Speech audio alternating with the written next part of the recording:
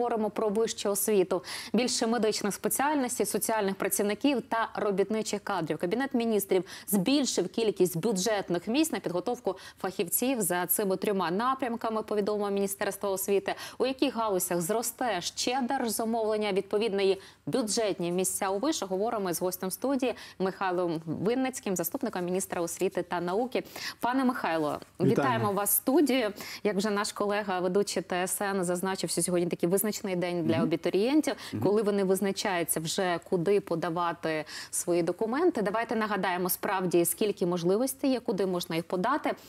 І зі збільшенням держзамовлення, чи правильно я говорю про те, що і збільшується кількість бюджетних місць безкоштовного можливості для безкоштовного навчання українських абітурієнтів? Давайте так, по бюджетних місцях, в принципі, так. Зараз вернуся до бюджетних місць. Збільшилося е, цього року десь приблизно на 6 тисяч місць, але тут треба дуже дуже уважно про це говорити, тому що в нас так само збільшилося дуже багато, дуже д- з великих е, великих там масштабах збільшилася кількість пільговиків. А це діти учасників бойових дій, це діти загиблих, е, це люди, за яких держава має взяти на себе відповідальність, і вони а, беруть на себе певну кількість бюджетних місць. Так що це не означає, що збільшення бюджетних місць не означає, що зменшення зменшився конкурс. Навпаки, конкурс дуже часто збільшений, але через те, що у нас є більше пільговиків, яких треба а, ну скажімо так, в бюджетні е, в бюджетній калькуляції треба за них е, е, за них передбачати. Так що це означає, що насправді збільшення є дуже часто достатньо умовне. А стосовно запитання по кількості виборів, ну можливостей від вибору і так далі. Отже, п'ять комбінацій, заклад, програма.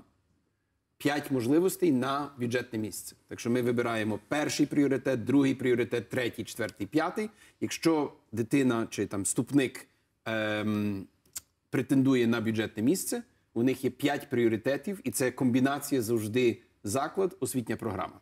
Далі можна фактично майже ну, умовно, скажімо так, є е, обмеження 15 місць чи можливостей на контракт.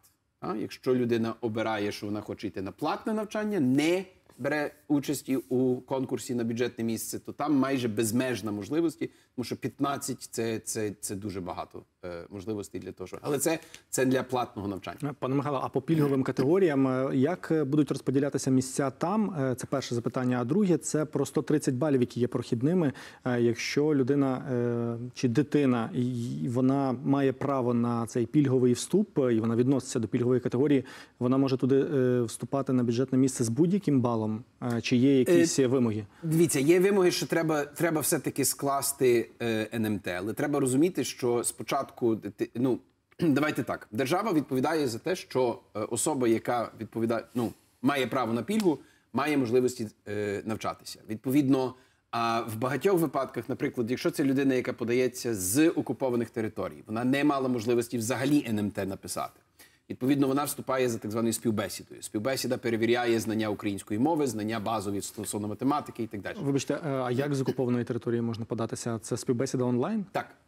Співбесіда онлайн. Ми намагаємося робити максимальну можливості всі давати всім нашим е, громадянам по всій Україні, в тому числі на окупованих територіях, для того, щоб вони могли вступити в українські заклади вищої освіти. Відповідно, давайте так. Е, Пільговий вступ має певну окрему свою, е, свою процедуру. Вона описана зараз на, на сайті Міністерства освіти. Є ціла інфографіка стосовно того, як вступати людям з окупованих територій, як вступати пільговикам і так далі. Ми маємо розуміти, що на сьогоднішній день це приблизно 10, а то й в деяких випадках може бути до 15% всіх бюджетних місць в країні будуть іти пільговикам. Це дуже висока цифра. Ми зараз намагаємося з цим собі давати раду. Це великий головний біль, чесно кажучи, для міністерства. А, але давайте таким чином: 80-85% тих людей, які вступають на бюджетні місця, вступають за результатами НМТ. І відповідно їхні бали а, зараз е, е, розраховуються, чи радше вони вже знають свої бали. Вони постають, подають з сьогоднішнього дня до 31 липня, подають свої пріоритети в кабінетах. А, і я дуже прошу з цим не гратися. 18.00, 31 липня закриваються всі комітети. Е, комітети, кабінети. Перепрошую. Верховній Раді великі вітання. закриваються всі кабінети. А отже, рішення по пріоритетах треба прийняти за наступних два тижні. 18.00, 31 липня це фінальна, фінальний час. Пане Михайло, от перед тим як ми почнемо розмову взагалі про те, як створюється держзамовлення, от ви зараз таку почали вже говорити про тезу е, стосунків держави і абітурієнтів, відповідальності держави за надання знань. Чи розглядає держава? Як колись було в радянському союзі, це напевно дуже непопулярне зараз буде порівняння, але тим не менш відповідальність студента, якого навчала держава, щоб віддати державі ті знання. Коли ми говоримо про держзамовлення і про ті знання, яка які людина отримує коштом держави. Чи якимось чином ці знання будуть відпрацьовані в тій чи іншій галузі, яку саме потребує зараз Україна? Ви знаєте, Марічко, це, це питання, яке вже, е, скажімо так, мусується в публічному просторі і серед е, політиків. Е, я би сказав, вже може навіть і 30 років. Та? Це питання, що в нас залишається система так званого державного замовлення. Мається на увазі, що держава замовляє якогось там е, вступника чи, чи випускника. А очевидно, це ідея, яка походить ще з радянських часів, коли був держплан, і держава, і держава нібито планувала, скільки там буде потрібно якихось фахівців і так далі. А ця система за своєю суттю вже дуже сильно змінилася, але лексика в нас залишається, що ми це називаємо державне замовлення. Насправді це державне фінансування вищої освіти. Держава фінансує певну кількість за конкурсом вступників, і є бюджетні місця, які держава надає для здібних вступників. А це насправді не замовлення, треба розуміти. Так, Стипендії, державні стипендії. Державні стипендії було б краще сказати. Але знову ж таки, слово стипендія означає щось інше, бо для, для, для наших студентів стипендія це те, що вони отримують. гроші так, на отримання, гроші. так. Але фактично ми зараз е, маємо говорити про гранти на навчання. Ми маємо говорити трошечки про іншу лексику. Це буде е, в наступних, я думаю, місяцях. Ми будемо багато більше про це говорити, тому що система фінансування вищої освіти має змінитися. Ми зараз над цим працюємо, але це в майбутніх ефірах, не сьогодні. А якщо говорити про пріоритети держави. Сьогодні держава розуміє, що є деякі пріоритети, які нам однозначно будуть потрібні, деякі спеціалісти державі саме будуть потрібні після перемоги. А і ми можемо вже сьогодні деякі планування робити навіть 4 роки чи 5 років наперед. Наприклад, очевидно, нам буде потрібно інженерів-будівельників. Нам очевидно будуть потрібні люди, які зможуть займатися відбудовою е, е, інфраструктури. Нам також, як державі, будуть потрібні люди, які можуть нам допомогти з відновленням людського капіталу. Тому цього року, до речі, за ініціативи саме е, прем'єр-міністра, тут треба дуже подякувати, тому що людина очевидно вникла і розібралася. Це, е, е, це, це важливо, що нам будуть потрібні реабілітологи. Люди, які будуть працювати з людським капіталом для того, щоб реабілітувати після війни. Це мова йде про фізіотерапію, це мова йде про е, терапію мови мовлення, це мова йде про дуже багато різних речей, які нам будуть потрібні. Тут дуже суттєво цього року збільшено якраз ем, державне замовлення, чи держава фінансуватиме якраз підготовку тих, е, тих спеціальностей. Психологи, е, соціальні працівники, люди, які будуть потрібні для відновлення країни з точки зору людського капіталу. Чи ми на сьогоднішній день можемо планувати, які там потрібні спеціальності, де і так далі? Давайте так. Формально ми плануємо, але реально треба розуміти, що працює така система, яка називається попит е, вступника. І тому тут дуже важливо якраз те, що зараз відбувається в кабінетах, тому що цей попит якраз ви, е, виражається в тих пріоритетах, які вступники е, вкладають. І нас, як завжди, прогнозується, що найбільший попит буде на економістів, на правників, на ті спеціальності, які можливо державі не так то потрібні, але вони є популярними серед наших вступників. Цього року дещо зменшено кількість державних місць, збільшено контрактних місць. Отже, відповідно, якщо ви хочете вчитися на такій спеціальності, будь ласка, платіть.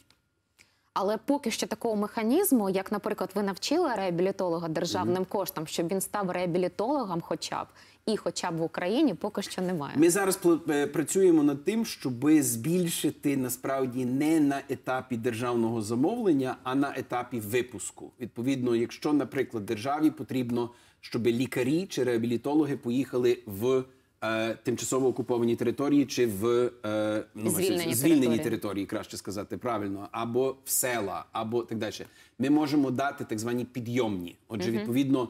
е, Замість того, щоб пробувати прив'язати і сказати, ви Те, маєте відпрацьовувати, це було дуже непопулярно. Союзі, Це було популярно в радянському союзі, але це насправді не конституційно сьогодні. Ми не можемо Ми не можемо змусити людину працювати десь, Але де можемо не хоче. заохотити. Ми можемо заохотити грошима.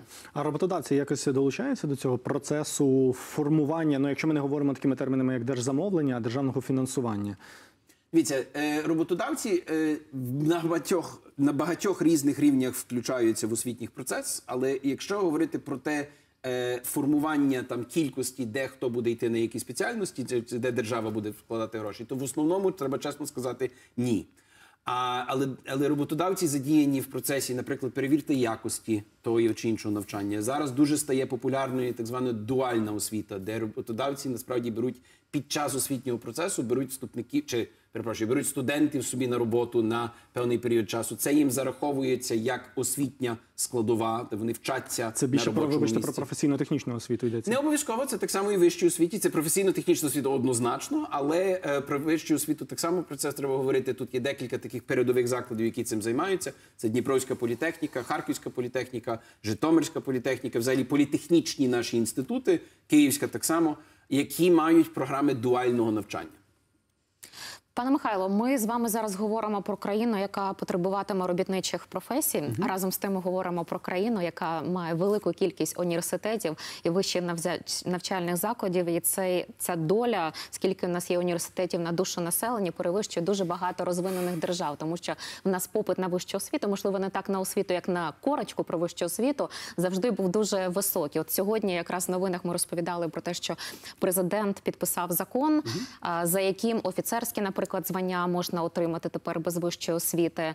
Раніше були такі ситуації, що ти можеш стати, наприклад, народним депутатом України, не маючи вищої освіти, але не можеш стати помічником народного депутата, якщо в тебе немає корочки. Чи ви не вважаєте, що треба в Україні підвищувати статус робітничих професій і не робити оцю корочку про вищу освіту? Ми не говоримо про знання, а саме про статус настільки необхідним. Знаєте, я ви е, абсолютно правильно кажете. В нас в Україні є надзвичайно висока кількість випускників, які йдуть у вищу освіту. А якщо брати статистику до вторгнення, бо тому що зараз після вторгнення дещо вона статистика не, не дійсна, так чи інакше в зв'язку з пільговиками і так далі. Але до вторгнення нас було 73-74% випускників 11 класу, які йшли в вищу освіту. Насправді навіть сьогодні це навіть і вище дуже часто буває. А, і це проблема, тому що середній показник по Європі це дотягує до 50%. Так що в нас дуже популярна вища освіта. І треба розуміти, що ця популярність не обов'язково пов'язана з е, бажанням реально отримати вищу освіту, а воно пов'язане з певною культурою, Статусом. е, статусом. Що якщо ти не маєш вищої освіти, то ти ніби, ніби не вдаха. Та? А, і це так не має бути, очевидно. А тут е, пов'язане з е, тут немає якоїсь там палочки чарівної Гаррі Поттера, де ми можемо зробити ось щось одне, і от престиж ем, робітничих професій збільшиться. Тут очевидно пов'язане є з зарплатами, це очевидно пов'язане є з е, самим мат- матеріально-технічною базою профе- професійно-технічних е, закладів. І ми над цими працюємо речима і тим, і тим. Але на жаль, це забуває трошечки, трошечки більше часу е, потрібно для того, щоб це змінити. В будь-якому випадку в уряді є точно зараз е, поставлений пріоритет збільшити престижність і, взагалі, е, збільшити кількість випускників, які будуть йти в професійно-технічну освіту чи в фахову передвищу. Престижність це ще і якість освіти. Е, Як бути з цими приватними університетами, якщо ми говоримо про вищу освіту, а не про професійно-технічну освіту, до яких можна подати цілих 15 заявок? З чим взагалі пов'язана така велика кількість заявок, які можна подати на вступ в університет приватний? Чи це Дивіться, мається тут, на увазі? тут не питання в тому, що це приватний університет. Вибачте, я вас переб'ю, але, але 15 заявок це на так зване контрактне навчання. Контрактне навчання може бути воно платне, воно може бути в державному університеті, може бути в приватному. Разом з тим, треба розуміти, що в нас пішла якась така е, дивна ситуація стосовно приватних університетів. У нас є дуже якісні приватні університети, їх можна порахувати на пальцях однієї руки. І тоді в нас є достатньо велика кількість приватних університетів, які на превеликий жаль, а це університети, які е, дають, як ви сказали, корочку, але точно не дають знання. Причому е, я можу навіть сказати, що цього року ми зробили Міністерство освіти вперше. Закрило певну лазейку, яка існувала стосовно приватних е, закладів. А саме, а, була система, де без ЗНО, без НМТ так звано вступали в польський заклад, а пізніше переводилися в український заклад, отримуючи, український диплом. А на цей момент цього року е, ми вперше закрили це, і це означає, що якщо ви йдете тією схемою, то майте на увазі, що впродовж того вашого навчання в українському закладі вам все одно прийдеться отримати ЗНО чи чи скласти НМТ. Тому що інакше ви просто не отримаєте диплома. А і це насправді такий собі, ну е, дещо, дещо ми змінюємо е, чи закриваємо деякі тільки дірочки. Багато які таких існували. дірочок. Ну на сьогоднішній день ми заблокували понад 500 дипломів. Е, так що е, понад 500 дипломів, які, які були якраз е, очевидно ну не дуже якісні. Давайте таким чином. Так що, от так. Пане Михайло, вступна кампанія зараз в розпалі. Я думаю, що за підсумками ви ще зможете до нас прийти в студію, розповісти, власне, як все сталося, чи був набір студентів. Е, Михайло Виницький, заступник міністра освіти та науки України, був гостем нашої студії.